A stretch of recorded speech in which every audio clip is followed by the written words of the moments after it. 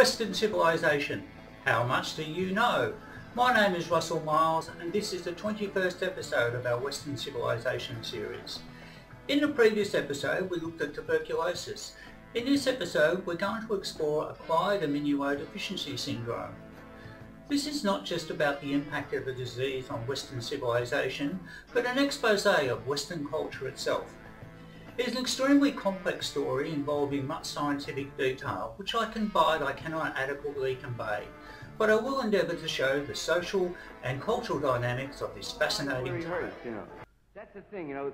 I have a, a reputation for being sort of controversial and irreverent and also the semantic bear trap of bad taste. And actually I do have, and I will always be accused of bad taste by the people who eat in restaurants to reserve service, you know, that kind of scene to anyone, yeah. But you might be interested in how I became offensive.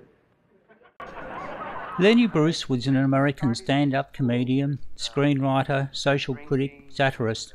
He joined the US Navy at 16 during the Second World War, and after three years of service in the European theatre, discharged relating to dressing in drag, which was later changed to honourable on appeal. He performed mostly in comedy theatres, including in London and Australia. He was essentially blacklisted from television. He died in 1966 due to a drug overdose, aged 40. In 2003, New York Governor George Pataki granted Lenny Bruce a posthumous pardon for an obscenity conviction.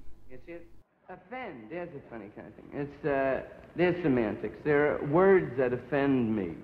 Uh, let's see, Governor Faubus, segregation offend me. Uh, uh, nighttime television offends me. Some nighttime television. uh, the shows that exploit homosexuality, narcotics, and prostitution under the guise of helping the societal problem. And except like. In our previous episode, we described viruses as tiny microbes which can't grow or reproduce apart from a living cell or host, such as a plant, animal, or people.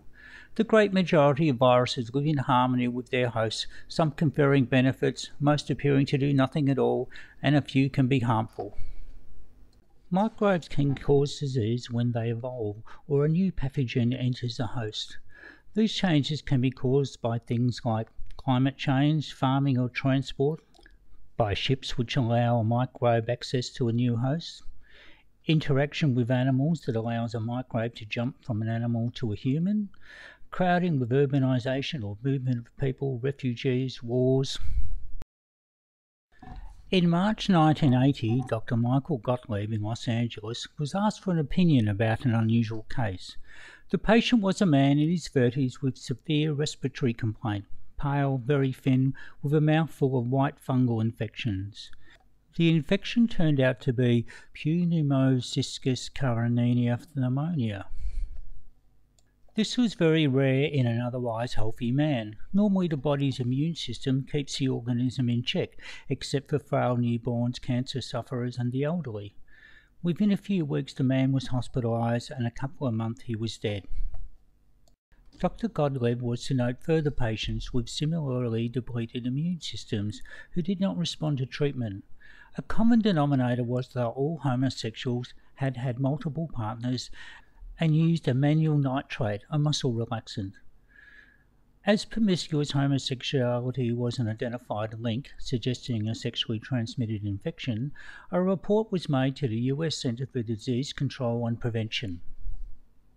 By July 1981, the Center for Disease Control had recorded 26 other such cases in California and New York, all with rare skin cancers, middle age, eight had died. By August 1981, the Center for Disease Control had listed 107 cases, of which most were homosexual males, but six were heterosexual men and one woman. There were 270 cases by December most of whom eventually died of conditions made worse by depleted immune systems, usually within 20 months of diagnosis. While it was known that immunodeficiency was killing people, but what microbe or virus might be causing this, and what was its mode of transmission? Initially referred to as gay related immune deficiency, GRID, the CDC adopted the term AIDS, acquired immunodeficiency disease, in September of 1982. Researchers interviewed those afflicted about their sexual behaviour to gain insight into the condition. The number of sexual partners appeared to correlate with the chances of infection, with exposure to other sexually transmitted infections causing a cumulative depletion of immunity. Whereas amyl nitrate use and fisting, inserting hand into rectum or vagina for sexual stimulation, had no apparent correlation. Other research compared where reported cases lived with census data, married, never married, a crude approximation of homosexual population in a given location. This showed a much greater incidence of infection in gay locations, the inference being the disease was following an epidemic pattern, with the incidence more than doubling each year and would soon spread wider. By December 1982, the CDC advised that there were 788 confirmed AIDS cases. 42 or 5% belonged to no known risk group, including haemophiliacs with possible transmission from blood products. By March 1983, there were 1,200 cases, most in the USA, but a few in Europe and in Haiti. Promiscuous homosexual behaviour was recognised as a significant factor regarding AIDS. Public health authorities sought to educate about safer sex and condom use. Gay men also altered lifestyles. Bathhouses in the east coast of the United States reported a decline in revenue. However, authorities were reluctant to close down bathhouses and other gay venues. This was only a decade since the Stonewall riots in New York City about police aggression towards gay men, so authorities wanted to avoid seeming to harass people. The 1983 Gay Freedom Day in New York and San Francisco, the anniversary of the Stonewall riots, saw health warnings, pamphlets, bowls of condoms, those with AIDS pushed in wheelchairs, and television and mainstream media coverage of the event. The publicity saw backlash. The Reverend Billy Graham, a highly popular evangelical preacher who had actively supported black civil rights, said, AIDS is a judgment from God. Jerry Falwell, the leader of the moral majority political movement, said, Scripture is clear. We do not reap in flesh when we violate God's law. Equally, the Evangelical Lutheran Church in America had long participated in gay freedom parades, and later there were various Baptist, Lutheran, and Quaker churches along with Buddhist, Mormon, and Jewish faith communities. Researchers were presenting various theories about AIDS based on observation and correlation.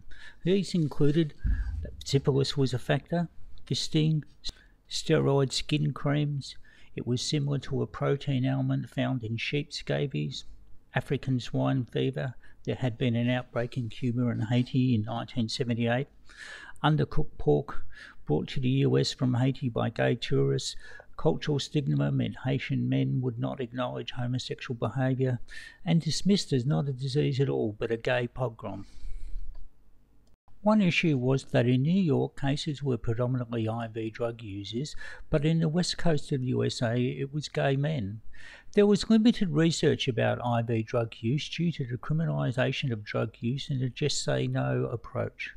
A political issue was that publicity without funding would create a backlash or that politicians would be unsympathetic to a disease associated with gay men. This saw scientists engaging in what was referred to as guerrilla research, seeking to keep their work from being noticed. There was also competition within scientists, where research about Ebola, malaria, and other diseases having more attention. In October 1984, bathhouses and private sex clubs in San Francisco were closed to reduce high risk sexual activity. New York and Los Angeles followed suit within a year. In 1983, French researchers from the Pasteur Institute determined that a novel retrovirus may be infecting AIDS patients. A retrovirus inserts a copy of its genome into the DNA of a host cell, changing the cell. A wide number of scientists from around the world have been collaborating about AIDS. There was some controversy between an American virologist group led by Dr. Robert Gallo and the Pasteur group over who discovered HIV. and it later emerged that the sample of the virus sent from the Pasteur Institute had become contaminated with a sample used by the Gallo group. Regardless, the Pasteur group had isolated HIV, and the Gallo group had demonstrated that HIV causes AIDS. On the 23rd of April 1984, US Health and Human Services Secretary Margaret Heckler announced at a joint media conference with the Pasteur Institute that the virus that caused AIDS had been found. The virus was named Human Immunodeficiency Virus, HIV. This led to anticipation of a vaccine within a few years. By the end of the year, the number of AIDS cases in the USA had risen to 3,064. Of this number, 1,292 had died.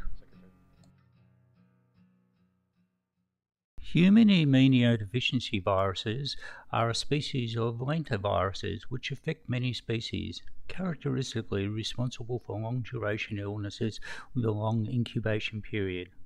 Over time, HIV causes acquired immunodeficiency syndrome, AIDS. With regard to AIDS, the incubation period is typically 8 to 24 months before symptoms appear, but can be much shorter, with a few reports of over a decade. By 1985, the first HIV tests became available. A major issue with earlier tests for HIV antibodies is that they had a long window period, up to 12 weeks, where a person may be infectious but still receive a negative result. This meant that persons had to restrain from any high risk behaviour, e.g., sexual intercourse, for 12 weeks after a test for it to be valid. The window period was reduced with improved testing and is now about two weeks. In 1983, three men who had received doses of blood coagulation products and living far apart were identified as infected with AIDS.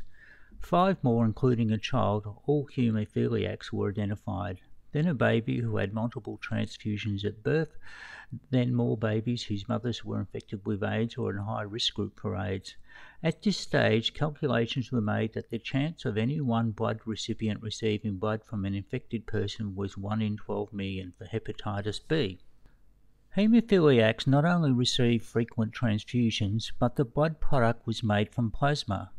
While in the US whole blood was derived almost exclusively from volunteers who were limited in how many donations they could make, plasma was often purchased from those who tended to be on low income, in deprived circumstances, and lower general health.